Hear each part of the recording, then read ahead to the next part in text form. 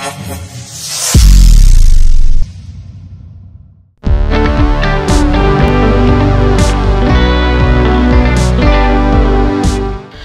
को भारतीय कप्तान विराट कोहली और वेस्टइंडीज के कप्तान कारन पोलार्ड के पहली गेंद पर शून्य पर आउट होने के साथ इतिहास में पहली बार वनडे इंटरनेशनल में दोनों कप्तान गोल्डन डक पर आउट हुए पोलार्ड की गेंद पर ब्रॉस्टन चेंज ने कोहली का मैच पकड़ा जबकि मोहम्मद शमी की गेंद पर ऋषभ पंत ने पोलार्ड का मैच लिया